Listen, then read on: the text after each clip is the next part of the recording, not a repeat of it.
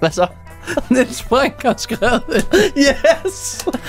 Uhu! Uno dos, tres, 14, talstal 14. Hilsen Niels Brink.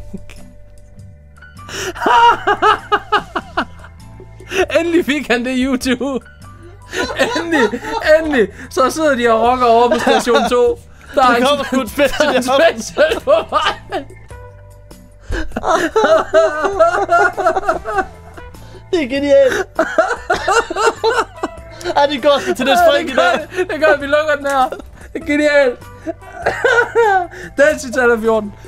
Der, vi sender en t-shirt til Niels Brink. Til den rigtige Niels Vi sender Brink. til den rigtige.